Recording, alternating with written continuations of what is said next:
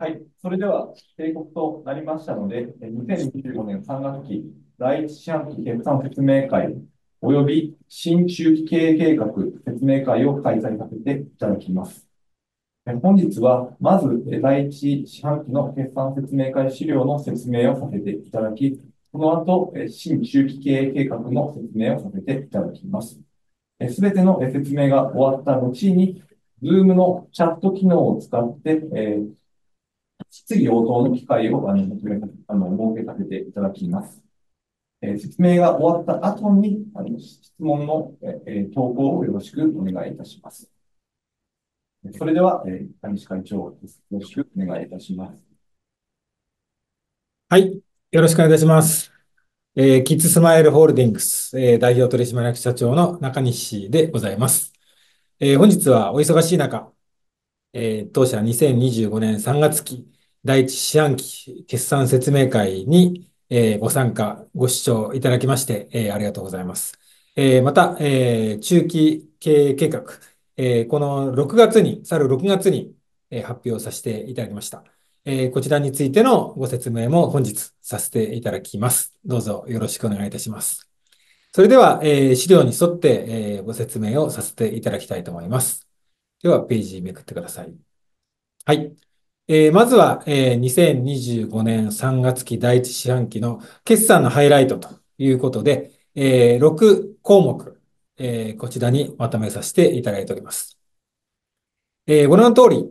り、す、べ、てのですね、あの、指標において、えー、この第一四半期、えー、非常に、えー、好調に、えー、終えることができました。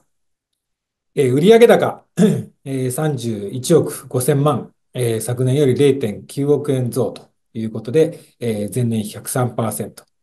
えー、EBITDA、えー、こちらは、えー、昨年よりですね、えー、なんと250%ということで1億3000万円増えて2億3000万円。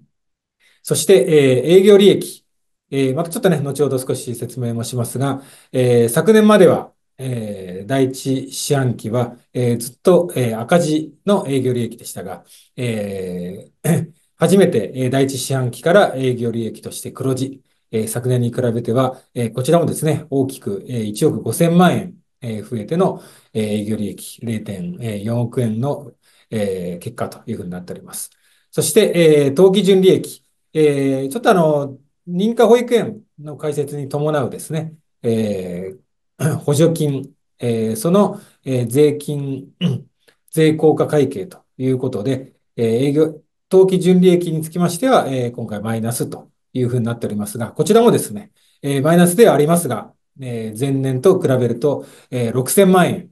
えー、利益が増えているということで、こちらも大きく、えー、前進しているという形になっております。えー、運営施設数は、えー、この10月に、えー、新しい1施設、えー、開設がもう決まっておりますが、えー、この第一四半期というところでいきますと、え、昨年と、え、変わらず79施設。え、しかしながら、えー、児童数につきましては、え、施設数は変わらないんですが、児童数については、えー、102.7%、2.7%、143人増えた5275人ということで、えー、既存施設の、えー、利用率は、えー、順調に、えー、上がっているという、こちらが、えー、第一四半期の決算ハイライトでございます。はい。では次、えー、いきます。まあ今ですね、あの申し上げた内容をちょっとテキストにした形になります。えー、上場以来、えー、この前期ですね、上場以来、えー、一番いい数字を、えー、残すことができたわけですが、その上場以来の成長ペースを維持して、えー、売上高、EBITDA、営業利益、いずれもですね、えー、第一四半期としては過去最高というのを達成することが、えー、できました。えー、ありがとうございます。それでは次のページに行かせていただきます。えー、こちらもですね、えー、先ほどお話しした内容の、まあ、サマリーという形になりますが、えー、まあ、すべての、えー、指標におきまして、えー、増加を、えー、しております。えー、特に、えー、EBITDA については、まあ、150%の増加率ということで、まあ、大きく、えー、増加をすることができました。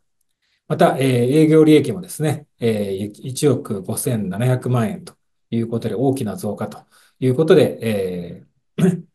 ご安心をいただければというふうに思います。それでは次のページに参ります。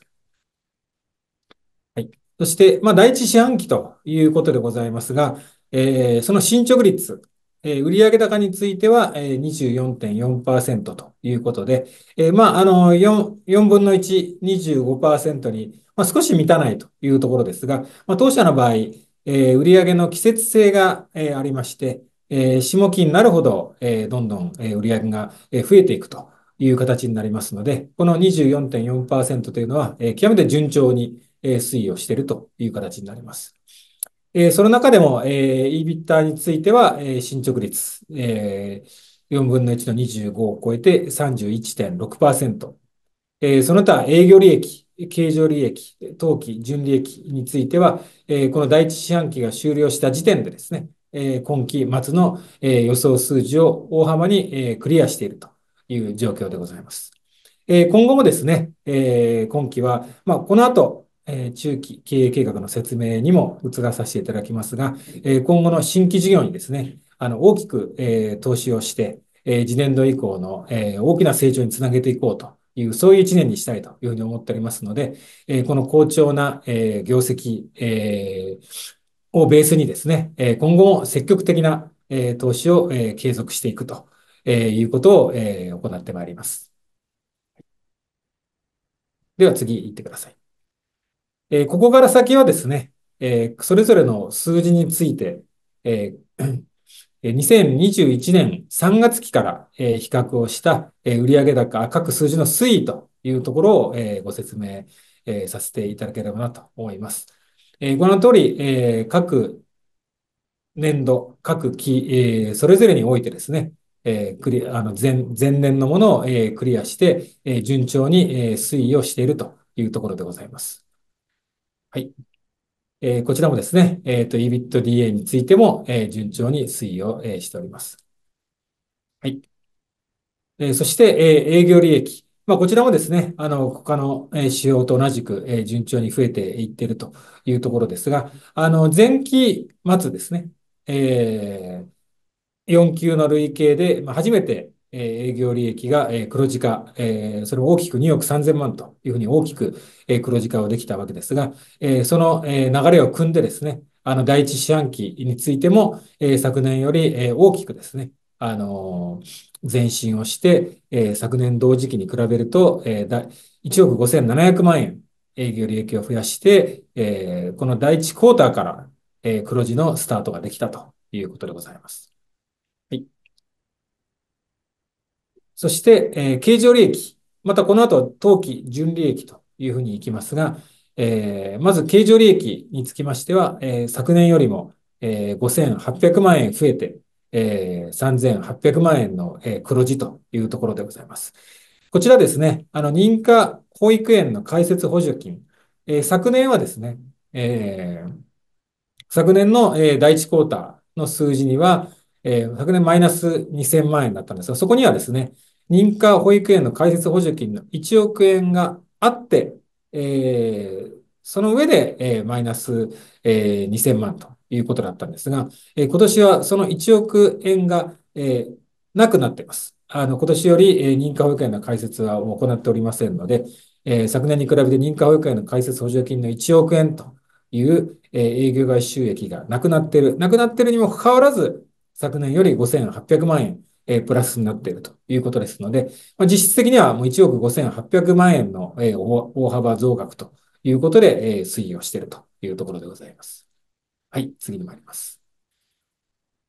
えー、こちらもですね、えー、まあ、当期純利益、えー、先ほど少し申し上げましたが、あの、税金の、え、会計の関係で、えー、まあ、経常利益まで黒字なんですが、え、税金の関係で、えー、当期純利益は、えー、マイナスということになっておりますが、えー、昨年に比べて、えー、6300万円、えー、大きくですね、えー、改善をしていると。こちらも、えー、認可の開設補助金の1億円というものが減った中での、えー、このプラスでございますので、えー、大きな前進をしているというところでございます。はい。そして、えー、BS ということで、えー、高いえー、財務安全性を、えー、今期末もこの第一四半期末も、えー、推移をしていると、継続をして、えー、推移をしているというところでございます。えー、自己資本比率であったり、えー、有利子負債比率というものも、えー、大きく改善をして、えー、第一四半期を終えることが、えー、できております。えー、以上が、えー、第一四半期の、えー、決算、えー、説明資料と、えー、あ、決算説明とさせていただきます。それでは、えー、続いてですね、えー、その去る6月の末に、えー、発表させていただいた、え、新しい中期経営計画、こちらについてのご説明をさせていただきます。はい。では、え、次のページに行きます。はい、これも次に行ってください。えー、そして、えーまあ、こちらですね、あの、第一四半期、まあ6、月に発表させていただいておりますので、えー、昨年度末までの、えー、財務仕様の振り返りという形で入れさせていただきました。えー、2020年の3月4日にですね、えー、新規上場させていただきました。えー、そこから、まあ、21年3月期、えー、22年3月期、23年3月期、えー、そして、えー、24年3月期と、えー、続いてきてるわけですが、まあ、上場以来ですね、えー、継続的に、えー、各指標成長してですね、えー、そして、えー、毎期、えー、財務指標はもう過去最高をですね、あの、更新することができているという ことでございます。はい。そして次に行きます。そして、えー、まあ、気象予想に対する進捗ということで、また毎期ですね、えー、その期の、えー、各指標の予想を発表させていただいてますが、えー、各期ともにですね、えー、必ず、えー、予想、予想発表させていただいた数字をですね、えー、上回って、えー、着地をすることができた。えー、投資家の皆様と、えー、お約束させていただいた、いただいた数字をですね、えー、上場以来毎期、えー、確実に、えー、達成することができたというところでございます。はい。そして、えーまあ、今回新しい中期経営計画を、えー、策定させていただいたんですが、えー、昨年策定をして発表さす、発表した、え、まあ、ちょっとこれあの、6月に発表しておりますので、この、その時の数字で現中期計画と書いてますが、まあ、以前のですね、中期計画。そしてその以前の中、去年、昨年発表した中期計画を、え、まあ今申し上げた、え、順調な、え、業績ということで、えー、売上高で言うと1年、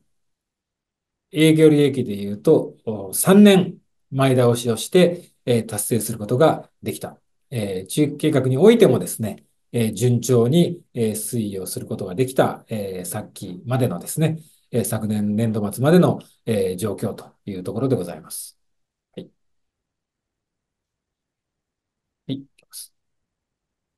えー、という中でですね、あの、まあ、今回、まあ、新しい中期計画を、えー、策定し、えー、投資家の皆様にお約束をさせていただいて、え、それに向けてですね、え、会社として、え、全力で取り組んでいくということを、え、決定したわけですが、えまあ、どうして、まあ、そういう新しい中期計画を作ろうと、え、いうことになったかということを少しご説明をさせていただければと思います。まずはですね、あの、やはりその外部環境の変化というところでございます。えー、まあ、待機児童問題、えー、こちらはですね、あの、長年、えー、待機児童問題というのは、えー、我が国の大きな、えー、社会課題であったわけですが、えー、まあ、ほんのまあ5、6年前、えー、2010、まあ7年前ですか、2017年が、まあ、ピークということで、待機児童数はもう2万6千人ということだったんですが、まあ、この、えー、6年、7年で大きく解消することができて、え2023年においては2680人と、もう10分の1に減った。この2680という数字は、えー、実感値でいくとですね、もう円を選ばなければ、えー、どこかの円に入れればいいということであれば、もう、あのー、ほぼ確実に、えー、保育園には入園することができる数字ということで、待機児童問題は、えー、おおむね、え、解消したというふうに、え、言えるのではないかというふうに思います。まあ、一部ね、あの局所的にあの、あるエリアにおいては、え、入れないというようなことはまだ、え、あったりとか、あと、どうしてもこの園に入りたいということであれば、入らないということはあるんですが、えー、どこかの園にということであれば、えー、ほぼ、えー、待機児童問題は解消したというふうに言えるというふうに考えております。そして、え、次ですね。まあ、女性の、え、労働力人口ということで、え、こちらもですね、大きく、え、上がってきました。えまあ、私たちは幼児教育、そして、え、保育施設の、え、運営ということを行っているわけですが、まあ、その中で、え、待機児童問題、そして、え、女性の、え、社会進出支援ということは、え、私たちが、えー寄与すべき社会課題の解決の大きなテーマの2つなんですが、まあ、そのうちの女性の労働力人口というところは、まあ、引き続き上昇トレンドであるものの、まあ、大きくこの期間の間に伸びていったということが言えるというふうに考えております。で、一方でですね、少子化問題、こちらは、さらに深刻化を増していて、その解決のめどはなかなかつかない状況にあるというところでございます。はい。まあ、それを踏まえてですね、私たちの新しい新中計画を作っていこうというのが今回のところでございます。やはりあの企業というのは、まあ、社会課題に対して、えー、社会課題の解決に向けてどう寄与していくのかというのが、やはり企業に、えー、の使命として、ま、非常に重要なものであるというふうに思っています。え、社会課題の解決への寄与というのは非常に重要なテーマ。そしてもう一方ですね、やはりその社会課題の解決に寄与できてない企業というものは、やはり存続、そして成長というものが難しくなっていくだろうというふうに考えています。その中で私たちはですね、えー、2008年の12月に、会社を設立して、えー、2009年の5月に、第1円目の円を開設しました。ちょうど15年前ですね。えー、15年前の社会課題っていうのは何だったのかというと、まさに今お話をした通り、待機児童問題が、非常に深刻化をしていました。そして、えー、女性の、えー、活躍、えー、ということが、えー、とても期待される中で、えー、女性の、えー、社会進出の支援をしっかり行っていく必要があるという、この2つの社会課題というのが大きなテーマであった。えー、それが、えー、15年前でございました。えー、そこから、まあ、15年の月日が流れ、やはり、えー、社会課題、社会の状況というのは大きく変わってきたなというふうに思っています。え一つはそのまさに今申し上げた待機児童問題というのはほぼ、え解消した。そして、え女性の社会進出支援というところも、え数字上はもう女性の、え就労率というのはもう8割を超えてきて、え数字上は、え女性の社会進出というのは一つ、え 形が、え形がなすことができてきているのではないかなというふうに思っています。え その中で、えまた今度は新しい社会課題というものが、えまた生まれてきているのではないかなというふうに思います。その新しい社会課題に向けてですね、え私たちも、えその会社の、えあるべき姿を、え変えていく必要があるということを、え考えた、えというところでございます。そして、え新しい社会課題の解決に向けて、会社として新たなチャレンジをする。えどうしてもやはり新しいチャレンジをしていくためにはですね、あの、投資が必要になってきます。えー、まあ、投資というのはもう具体的に言うと、えー、お金が、えー、かかってくると。えー、ですので、投資をする、新しいことをするのであれば、やはり、えー、会社の調子がいい時にですね、やることが、えー、必要であろうというふうに、えー、私は考えています。ですので、えー、先ほど申し上げたように、えー、前期まで、えー、会社としては、えー、過去最高の、えー、業績を、えー、毎期更新をしてですね、えー、前期においては、えー、過去最高の業績を残すことができました。そして、えー、この第一四半期においても、えー、変わらず過去最高の、えー、業績を残すことができている。えー、この過去最高の業績を残すことができた今だからこそ、えー、大きな投資をしてですね、えー、さらなる成長を目指していく。えー、それが、えー、社会課題の解決、えー、私たちの企業の存在価値、存在意義としても非常に重要ですし、そして、えそれによって会社をさらなるえ成長させていくことが、え当社に、え投資をしてくださる、え投資家の皆さんの、え期待に、えお答えする、えことにもつながるというふうに、え考えているところでございます。えですので、この新たな社会課題の解決に向けて、え今までの事業経験、ノウハウを生かして、え事業領域を拡大していく。これが、えこの新しい中期計画の、え大きなテーマで、えございます。そして次のページに行ってください。そして、当社としてはですね、えですので、新しい、えパーパス、えステートメントを策定して、えそれに基づいて、え事業領域を拡大、え再定義をして、えそして中期経営計画を大幅な刷新、具体的には、え数値目標をですね、大きく、え変えていく、刷新をしていく。えそして、え新しいパーパスのもとに事業領域も拡大して、え数字も大きな目標に向けて、えさらなるチャレンジをしていくということですから、え社名も、え新たに、え 変えていく。この4つの試みをですね、今年行って、え飛躍的成長を目指していきたいというふうに、え考えているところでございます。はい。えそして、では、新しいパーパス、ステートメントは何なのかというと、まあ、今まではですね、え私たちは幼児教育を行っていました。えこの幼児教育サービスの会社からですね、えこの総合パーソナルケアサービスのサービスの会社へと生まれ変わっていくということを、え今期から行っていきたいというふうに思っております。はい、次に行ってください。え今まではですね、私たちは教育を通じて社会に貢献するということで、え幼児教育をしっかり行う会社ということで創業以来やってきました。ただ、え先ほど来、え申し上げている通り、え 待機児童は解消して、え子供の数は、えどんどん減っていってると。え その点からいくと、ま幼児教育だけをですね、え行っていくということは、必ずしも、え今後、今変わっていく、え社会課題の解決に対する寄与としては、え足りないんじゃないかということ。そして、え同時に、え市場が、え小さくなっていくということでもありますので、大きな、え会社の成長をしていくためには、え教育ということだけではなくて、え事業領域を広げていく必要があるだろうということを考えているところでございます。そしてもう一つですね、あのまあ、少子化対策ということが一つ、え大きなテーマとしてあるというところなんですが、あのまあ、女性の社会進出がどんどんできていっている。えただ一方でですね、あのまだまだ、え子育てであったり、え家族のことであったり、えまあ、お父さんお母さん、え父親母親が、え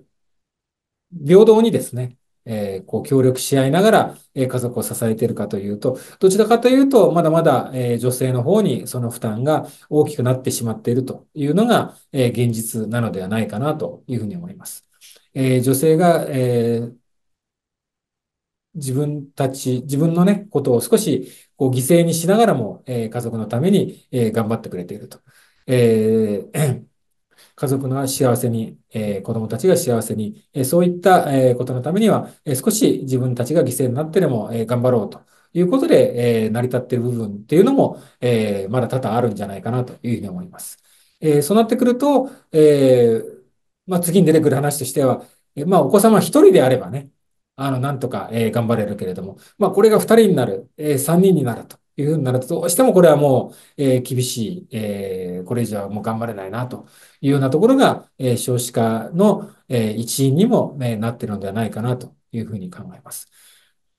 まあ、ということでいくと、やはりその個人のですね、あの、幸せっていうところと、こう家族の幸せっていうところが、え、どうしてもこうトレードオフされちゃってる。え個人が少し犠牲になることで、え家族が、え幸せになっていくこと、え個人と幸せと家族の幸せがどうしてもトレードオフされちゃってる。ですので、私たちとしては、この家族の幸せと個人の幸せがトレードオフされるんではなくて、こう寄り添えるような、そういった、え社会を作っていく必要があるんじゃないか。えそのための、えお手伝い、そういった、え社会課題の、え解決の寄与に取り組んでいきたいというふうに考えています。ですので、今までは教育を通じて社会に貢献するということを、えー、社税に置いてたんですが、新しいパーパスは、えー、一人一人にパーソナルケアサービスを届けることで、家族の幸せと個人の幸せが寄り添える社会を作っていくということを新パーパスにして取り組んでいきたいというふうに、えー、考えています。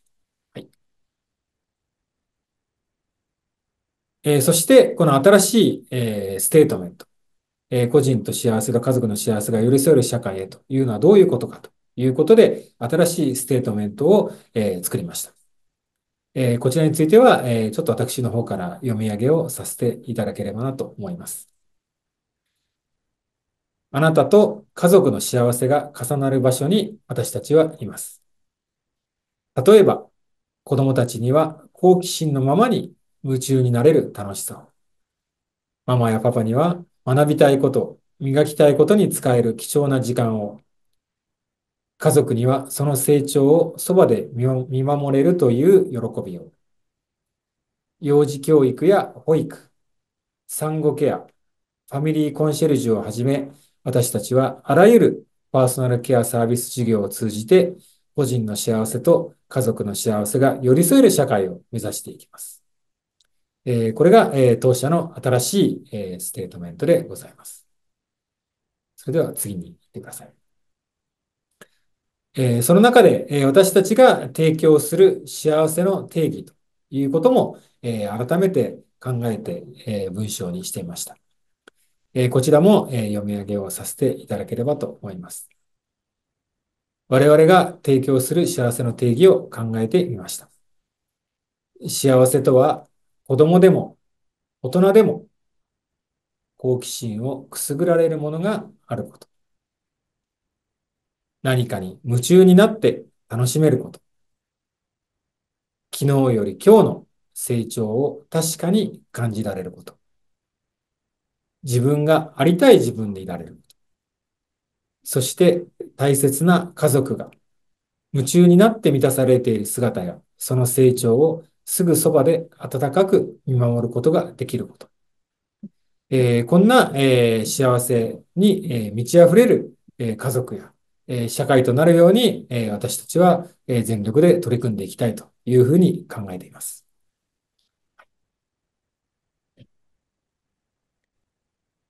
えーまあ、今、えー、申し上げた、えー、ところで、今までは、えー、子供たち、えー、お子様というのを、えー、私たちが、えー、提供する、え、サービス、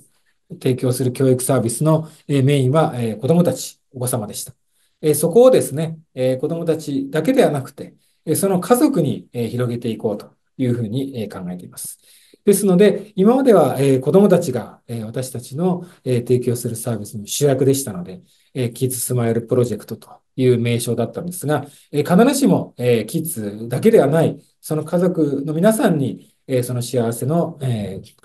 え、定義に先ほど申し上げたその幸せを、え、提供していきたいというふうに考えておりますので、え、それに合うようなですね、新しい社名に変更していきたいというふうに考えております。え、社名変更にあたっては、え、株主総会での決議が、え、必要というふうになりますので、え、今期中にですね、え新しい社名、え変更のための、え株主、臨時の株主総会を、え開催して、え今期中に新しい社名を、え 変に変更していきたいというふうに、え考えております。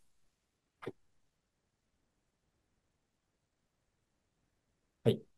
えー、そして、この事業領域の拡大では具体的にどういうことをしていこうかということで、えー、こちらに表にさせていただきました。え、今までの中期経中期経営計画は、え、幼児教育の、え、単一事業ということを行っておりました。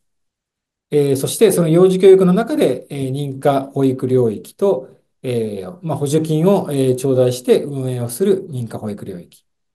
そして補助金は一切いただかずに、保護者の皆様からの保育料だけで運営をするプレミアム教育領域ということの、え、展開を、え、していました。この新しい地域計画では、これをですね、4事業に、分けて、4事業に再編成をして、展開をしていきたいというふうに考えております。この幼児教育につきましては、国内教育事業と国際教育事業。この国内教育事業というのはですね、あの、今までの、認可保育事業、プレミアム保育事業、を、引き続き、安定して、えー、より良いものを運営していく国内教育事業。えー、国際教育事業につきましては、えー、そのな教育の中で、えー、海外に関わるところ、えー、国際的な、えー、交流に関わるところというものを、分けて一つの事業にえしていくことにします。えまずはグローバルスクール。これは、え昨年より錦糸町で運営したバイリンガルのスクール。そして、今年の10月に、もう来月ですね、吉祥寺であの新しく開設する、グローバルスクール。このグローバルスクール事業。そしてもう一つは、海外留学支援事業ということで、今年の夏にですね、イギリスのボーディングスクールに2週間、子供たちを、お連れしてですね、海外のサマースクールをやってまいりました。こういった短期も含めた海外留学支援の事業ということも、これからどんどんと展開をして増やしていきたいというふうに考えております。また、ネイチャーツーリズムということで、まあ、今までもですね、あの、2泊3日で、えキャンプに行ったりだとか、えスキーツアーに行ったりだというようなことをしていたんですが、これをですね、あの、日本にはもう様々な、えー、各所にですね、えー、自然体験、自然発見ができる場所が、えー、ございます。こういったところを、えー、しっかりと、えー、教育的な、えー、体験の、えー、できる場所としてですね、えー、プログラムとして作り上げて、えー、日本の子供たちのみならず、えー、海外から、えー、日本に、えー、いらっしゃる、えー、子供たち、えー、の、にも、えー、体験していただけるような、えー、ツーリズムツアーとして企画をして、えー、展開をしていきたいというふうに考えております。この、まあ、海外留学支援とネイチャーツーリズムに関しては、えー、まあ、当社内にですね、えー、旅行事業部をですね、しっかり立ち上げて、えー、運営をしていくということを、えー、考えております。そして、えー、海外での園運営と、えー、こちらはですね、えー、海外で、えー、実際に、えー、運営をしている園、えー、そういったもののですね、M&A を中心にしながら、えー、日本の国内だけではなくて、海外でも、え、幼児教育を展開をしていくということを、え、考えております。そういったものを実践する国際教育事業。そして、え、新しく、え、産後ケア事業というものを、え、参入をしていく予定です。こちらの産後ケアというのをですね、聞いた方、え、いらっしゃるかもしれないんですが、あの、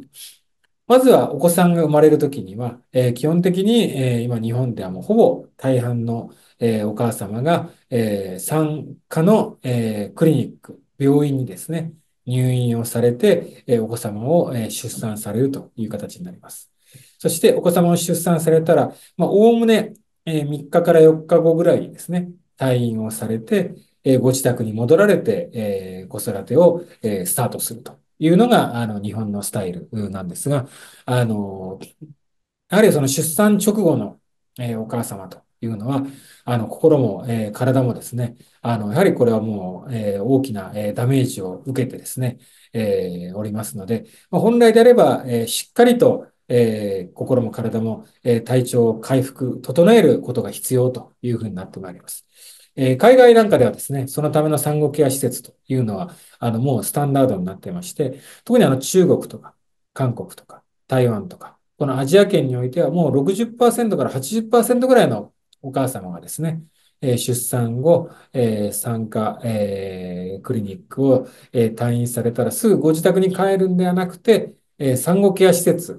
というところに入って、そこでゆっくりと、え、体を休めて、心と体を、え、整え、え、回復をさせてから、え、いざご自宅に戻られて、え、子育てにしっかりと、え、全力投球されるというようなものが、え、もう出来上がっています。え、日本でもそういった、え、産後ケアの施設というのが少しずつ、え、出来上がってきていますし、今、今あの行政の、え、補助も含めてですね、え、サポートが、え、始まってきています。え、産後ケア施設というのは、あの、ホテルのようなですね、え、場所に、え、お母様が入られて、そして、え、お子様はですね、そのホテルに、え、常駐している、え、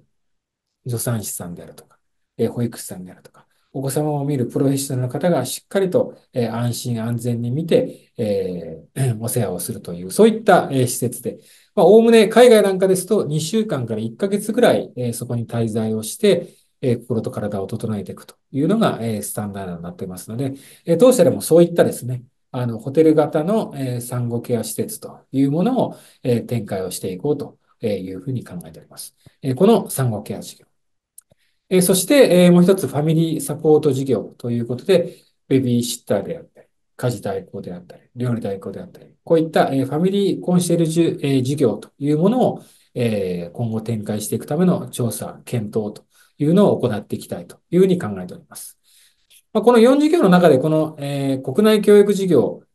国際教育事業、産後ケア事業と、この調査検討中のファミリーサポート事業はこう何が違うのかというと、この国内国際産後ケア、この3つについてはですね、えー、後ほどお話をさせていただく、今後2030年4月期までのですね、えー、目標数字の中に、もうすでにですね、あのー、数字として、え見込みを、え立てて、え入れ込んでいます。このファミリーサポート事業については、えー、調査検討ということですので、まだ、えー、その目標数字の中には、えー、入れ込んでいません。えこちらが形になっていくときには、え今、え発表させていただいているこの数字に、えさらにこう、プラスアルファされていくような、えものになっていくということで、そこが、え他の3事業と、この調査検討中の事業との違いというふうになってまいります。はい。それでは次に移ります。えー、まあ、今ですね、えー、申し上げたこの、えー、4事業ということで、まあ、ここは、あの今ちょっと申し上げた内容と重複をしますので、え次のページに、え移らさせていただきます。えこちらがですね、えっ、と、この新中期経営計画の、え数字というところでございます。え現在、え2025年3月期が進行中ということになりますが、今期129億の売上目標を2030年3月期にはおおむね100億円プラスをした220億というのを新たな目標にしていきたいというふうに考えております。そして、営業利益につきましては、21億、こちらをですね、この2030年3月期の目標ということで掲げさし、皆様にお約お約束をさせていただきたいというふうに、思っております。それでは次のページに行ってください。はい。そして、えこの数字のですね、大きなポイントというのは、この、えー、今までは幼児教育の単一事業でした。え私たちが、えー、対象とするえお客様というのは、えー、子供たちが、え、その中心でした。そこからこの新しい中期計画で、その、え私たちが、え対象とするお客様を子供たちからその家族に広げて、そして、え幼児教育単一事業から幼児教育以外の、え家族を、え対象とした、えサービスに広げていく。えというのは、え先ほど来申し上げている内容ですが、それによって、え売上高も、えこの教育以外のところで、え40%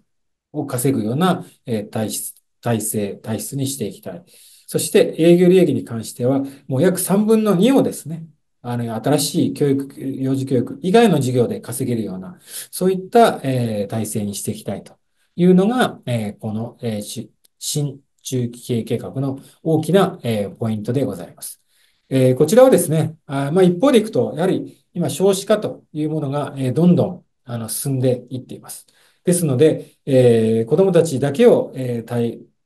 このサービスの対象にしていくということでは、やはり今後ですね、あの、大きなリスクが生じる可能性があるというふうに考えています。ですので、えこういった形で新しく、え子供たちだけではなくて、え我々の授業領域を広げていくということで、え多様な、え収益の、え柱を作っていくということがですね、あの、投資くださる、え投資家の皆様にとっても、えより安心して、え期待のできる、え事業、事業、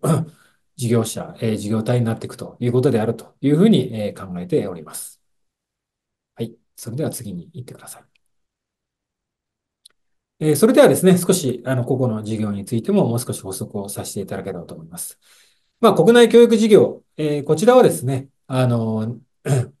今にの中のこれ、国内教育事業の認可保育事業ということで、認可保育事業は、え現在70施設を運営しているというところでございます。えー、先ほど、えー、新しい事業が、えー、売上で言うと、やはりまあ、えー、40%ぐらい、えー、利益で言うともう3分の2ぐらいというような話をさせていただきましたが、とは言いながら、ここにごご存知の通り、やはり、えー、売上高で言っても100億以上、えー、というですね、大きな部分がこの国内の認可保育事業で上げる数字というふうになります。やはりこれはあの会社としての運営という意味でも大きな柱でございますしえ、まあ、それ以上にですね、やはり認可保育事業えとしてえ、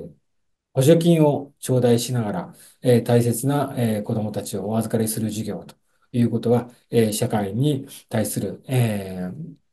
事業としても非常に重要なところですので、えここはしっかりとえ変わらず力を入れてですね、え安定運営を行っていくということをえ全力を尽くしていきたいというふうに考えております。変わらず保育の質をしっかりと向上させて、園児の充足率をしっかりと上げて、安定運営を図っていくというものを取り組んでいきたいというふうに考えております。はい。そして次ですね。もう一つ国内教育事業のプレミアム教育事業ということで、こちらも今後大きく園を増やしていくということは考えておりません。現在の施設にプラスして、来年ですね、あの麻布台ヒルズにえさらなるフラッグシップ園をえ開設がえ決まっております。えこちらは、えまあこの麻布台ヒルズも含め、麻布台ヒルズ、水山山、代官山広元麻布というようなですね、このえ現在のプレミアムスクールをえの中で、えまあ今までもですね、ここでえもう最先端の、そしてえ最高レベルのえ教育内容、教育プログラムというのをしっかりと追求をして、え開発をしていく。それをえこの70施設ある認可保育事業の方にも広げていくということで、えグループ全体を引っ張っていくですね、え教育レベル、えサービスレベルをえ提供してきたのが、このえ2009年からえの当社のですね、え創業からのえ事業であるこのプレミアム教育事業なんですが、ここはもう変わらずですね、え当社を引っ張るフラッグシップ園、最高水準の教育レベルを追求して運営をしていきたいというふうに考えております。では次に行ってください。そしてえ、グローバル事業ということで、あの、この10月に新しくグローバルスクールを開設しますが、このグローバルスクール、そしてえ、海外留学やネイチャースリーズムのえ、当社としての海外旅行事業え、海外のインバウンドの方向けたえ、旅行事業、そしてえ、海外への運営という、この、3本柱、ごめんなさい。えーとこの4、4本柱でですね、この国際教育事業というところもしっかりと伸ばしていきたいというふうに考えております。はい。そして、産後ケア事業。えここがですね、あの、売上も、そしてえ収益もえ大きな柱にえしていきたいというふうにえ考えております。え事業的にも大きな柱。そしてえもう一つ、この社会的意義においてもですね、えこの少子化え対策ということのえ大きな柱として、この産後ケア事業というものに取り組んでいきたいというふうに考えております。えまあ、認可え保育事業においてはですね、もうすでにあの大きな、もともとちょっとね、歴史を振り返ると認可保育事業は2000年からえ株式会社に、え門戸を開放していただいて運営をしているというところですが、ここはですね、あの、株式会社に門戸を開放していただくところから、えー、まあ、先人の、えー、先輩の、えー、企業の方がですね、あの、ご努力して、えー、新しい市場、えー、新しい、マーケットを作っていただいた。そこにですね、私たちも、え、入らさせていただいて、一緒に、え、頑張らせていただいたところですが、え、産後ケア事業というのは、え、これから、え、作られていく、え、マーケット、え、これから、え、作られていく、え、必要な、え、インフラサービスというところですので、まだ、え、この第一人者となっているようなですね、あの、事業者というのは、え、他にございません。ですので、え、私たちが、え、ここの、え、マーケット、えー、このインフラ、えー、このサービスを引っ張る、えー、事業者となっていけるようにですね、えー、この、えー、速いスピードで、えー、質の高い、えー、産後ケア施設というものを、えー、展開をしていきたいというふうに、えー、考えているところでございます。そして、えー、このファミリーサポート事業というのは、えー、まだ先ほど申し上げた数字のところには、当社の中結果の数字にはまだ反映をしていないところですが、やはり、ま、女性の、え社会進出、え結果としては、えご家族で言うと、えね、お父さん、お母さんが共に、え社会に出て活躍をすると同時に、家庭を支えていくと、えー協力して支えていくという形になりますので、えー現実として、えーお父様、お母様の、えお力だけではですね、なかなか難しいところがありますので、そこをしっかりと、え外部からサポートをすることで、えご家族の幸せであったり、え少子化対策であったり、えー様々なえ効果が出るようえ貢献をしていきたいというふうに思っておりますので、このファミリーサポート事業というものは、まず今期においては、えしっかりと調査研究をして、え来期以降の事業化につなげていきたいというふうにえ考えております。はい。はい。えーまあ、それを踏まえてですね、あの、改めまして、これがですね、えー新しい、えー中期計画ということで、あの、前回、えーまでの中期計画と比べるとですね、えーさらに、えー会社を、えー成長させる、えー大きな目標ということを、えー書きかけさせていただきました。えー大きな目標ではありますが、えー一番最初にですね、あの、申し上げたところですが、えー上場以来、えー私たちは、えー期初に発表した予想数字というのを毎期、えー必ず、えー達成をして、えー今期に至っている。えー期初に発表した予想数字、えー投資家の皆様とお約束した数字というのは必ず達成をして、そして結果として、えー昨年度は過去最高の業績、そしてこの第一四半期も過去最高の業績を、えー出すことができました。ですので、今回、えーこうしてお約束させていただいた、えー数字というものも、もちろん大きな目標であるんですが、必ず、えー達成をして、えー投資家の皆様の、えーご期待に、え必ず応えていくということを、え全社、え一丸となって、え取り組んでいくところでございます。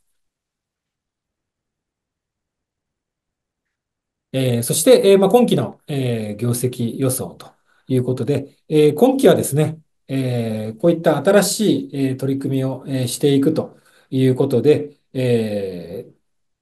売上高はですね、あの、去年より増えていくところなんですが、えー EBITDA や営業利益、経常利益というものは、えー昨年に比べて、えー マイナスで予算を組ませていただきました。えーこれはですね、あの、既存事業だけを考えれば、えーまさに先ほど申し上げた通り、第一四半期、えー昨年よりも大きく進捗して進んでおりますので、既存事業だけをやれば、えー 昨年よりも、え進捗をして、えー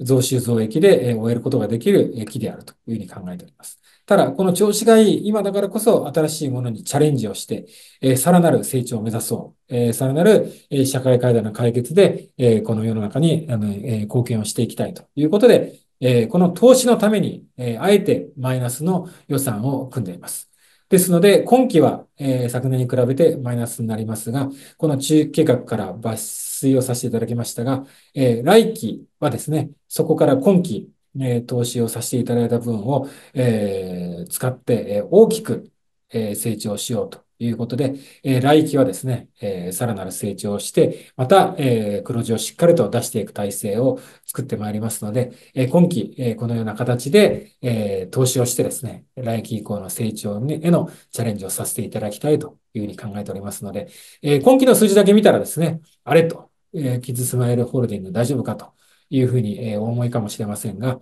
え繰り返しになりますが、え既存事業だけを見ればですね、あの、今期も、えこの第一四半期に、えの数字の通り、え非常に順調に進んでます。そして、え来期、えしっかりとした予想数字、えを、え出しておりますので、え今期の、えこの、えマイ、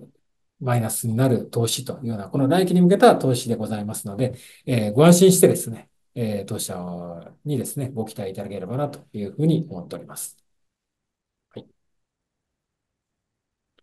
そして、えーまあ、各事業のですね、あのー中身というところは、えーこちら、えー拝見をいただければなというふうに思います。えーまあ、あの、ご存知、ご覧の通りで、既存事業はですね、あの、順調にえ推移をしているんですが、え新規事業へのチャレンジをしていくということで、特に右下ですね、え新規事業にチャレンジをしていくので、え営業利益等が、え、マイナスになっているというところで、え、ございます。はい。えー、こちらですね、今ちょっとお話をさせていただいたものを、えー、ちょっとテキストでまとめさせていただきました。えー、もう本当これ同じ話になっちゃいますが、既存事業は、えー、順調に進んでおりますと。えー、認可保育事業、えー、予想数字ではですね、あの微妙にちょっと固めの数字をしていますが、こちら、あのえー、保守的に、えー、予想は組ましておりますが、えー、順調に推移をしておりますので、ここも安定収益を出していけると。えー、プレミアム教育事業、えー、安定、えー、も含め、えー、こちらですね、えー、既存円は、えー、安定的に収支が、えー、出している。えー、この新規事業、えー、新規事円に、えー、投資をする分で赤字になっていくというのが、えー、今期の予想のポイントというところでございます。はい。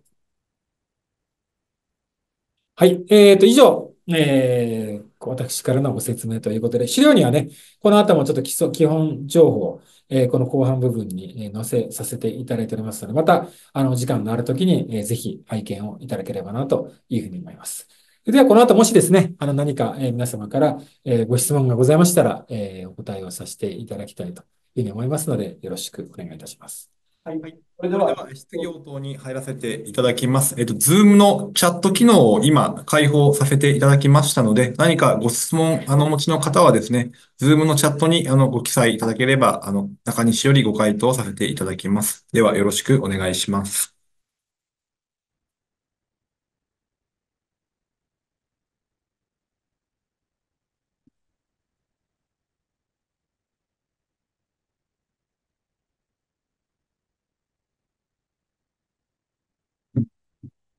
ないですかね。待ちましょう。まあ、あのー、なんだろうな、えっ、ー、と、な、その間ちょっと雑談をすると、その産後ケアっていうところで言うと、産後ケア。えっ、と、ここに資料がいい。そうですね。まあ、あのー、総じてですね、あのまあ、産後ケアっていうか、あのまあ、少子化にね、つながるところでもあるんですけれど、あの、ちょっと日本の社会はですね、ちょっとあの、お母さんに少し厳しいところがあるなというふうに、えー、感じています。例えばその無痛分娩とかっていうのも、あの、今はね、あの、だんだんと、えー、広がってきたんですけど、やはり一時はね、あの、無痛分娩とかっていうのは、あの、やはりあの、お腹を痛めてこその母親であると。えー、いうことで、あの、無痛分娩で産んだら、ちょっと愛情が薄れるからダメだとかですね。ちょっとそういう、うようなことがあったりだとか。あとはその産後ケア施設とかっていうところも、あのー、お子さんが生まれたのに、えー、そんな体を休めるなんてね、あの、ちょっと母親としての自覚が足りないんじゃないかというふうに言われたりだとか、ちょっとそういったような部分があったんですが、あの、もう、あの今もうそういう時代ではえー、ないですし、あの、また一つのね、あの、ファクトとしては、あの、やはり、まあ、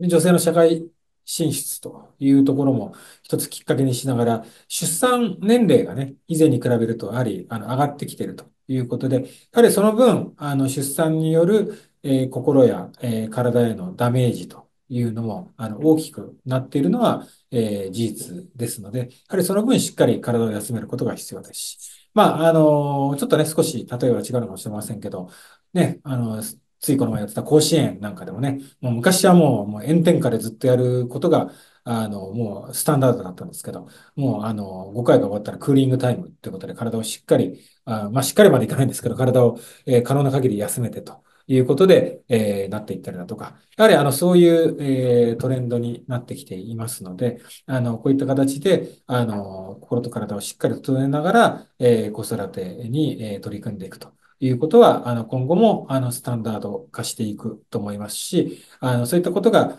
あの、やはり行政からの支援というのも始まってますので、あの、ここの、あの、市場というのはですね、あの、十分広がっていくだろうというふうに思っています。そして、あの、もう一つは、やはり、あの、